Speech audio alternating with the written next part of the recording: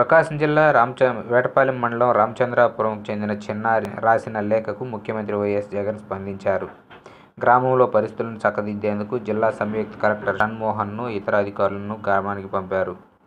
అధికారులు వేటపాలెం మండలం రామచంద్రాపురం చేరుకున్నారు. గ్రామంలో జరుగుతున్న పరిణామాలను క్షుణ్ణంగా పరిశీలించి సమస్యలను పరిష్కరిస్తామని హామీ ఇచ్చారు. చిన్నారులను స్కూలుకు రాకుండా అడ్డుకోవడం దారుణమని మనం ప్రజాస్వామ్య దేశంలో ఉన్నామని స్వేచ్ఛగా జీవించే హక్కు ఎవరికైనా ఉందన్నారు. బయట వ్యక్తులు కొందరు వచ్చి తమ గ్రామ కట్టుబాటు ప్రకారం సమస్యను పరిష్కరించుకుంటే తమపై పో- పోలీస్ కేసులు పెట్టి ఇబ్బందులకు గురి చేస్తున్నట్లు గ్రామస్తులు చెప్పారు. సమస్యలను పరిష్కరించి అందరికీ న్యాయం చేస్తామని అధికారులు హామీ ఇచ్చారు. అమ్మాయి రాయలేదు? ఆ- అది ఆ లెటర్ మాత్రం అమ్మాయి రాయలేదు. అది గ్రామస్తుల దగ్గర నుంచి అండ్ ఇట్స్ వెరీ ఆబ్వియస్ ఇక్కడ తెలుస్తోంది. అమ్మాయి చదివిన క్లాస్ సంబంధించి ఉన్నారు అమ్మాయి రాసే క్వశ్చన్ లేదు. వేరే వాళ్ళు అదే పని ఇంటెన్షన్గా రాసి అమ్మాయి పేరు పెట్టి పంపించారు. జస్ట్ ఫర్ పబ్లిసిటీ అండ్ కొంత అటెన్షన్ కోసం. సో ఎవరైతే రాయిచ్చారో అతని మీద ఆల్రెడీ కొంచెం మన దగ్గర ఉంది కూడా డేటా సంబంధించి ఇంకా అతను ఈ ఊరికి వస్తే కొంచెం లా అండ్ ఆర్డర్ ఇష్యూ వచ్చేట్లుంది అండ్ ఈ ఊర్లో వాళ్ళకు కూడా కొంత అతని వల్ల ఇంటర్నల్గా డిస్ప్యూట్స్ అవుతున్నాయి అనేది అర్థమవుతుంది. సో దానికి తగ్గట్టు చట్ట చట్టం ప్రకారం మనం ఏం చేయగలం చేస్తాం.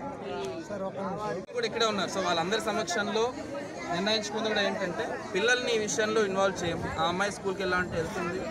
వీళ్ళ పిల్లలు స్కూల్కి వెళ్తున్నారు వెళ్తారు. సో అది అలానే ఉంటుంది. భూమి గురించి మాత్రం డెసిషన్ ఇవ్వడం జరిగింది. మన ఎక్స్ప్రెస్లో గవర్నమెంట్ భూమి అది అసైన్మెంట్ ల్యాండ్ అని చెప్పి సో దాని పట్టా క్యాన్సిల్ చేయించడం జరుగుతుంది. తహసీల్దార్ తర్వాత మూడో ఇష్యూ ఒక బోట్ గురించి ఒకటి వచ్చింది. ఆ బోట్ సొసైటీ తరఫున గ్రామానికి ఇస్తే అతను తన సొంత పేరు మీద మార్చుకొని కొంచెం ఇబ్బంది పెట్టడం జరిగింది. ఆ విషయంలో నెక్స్ట్ టూ డేస్లో ఎఫ్డీఓ ఫిషరీస్ సంబంధించి అధికారులు వచ్చి దాన్ని ఒకసారి విచారించి దానికి రిపోర్ట్ పంపిస్తే నేను టేక్ యాక్షన్.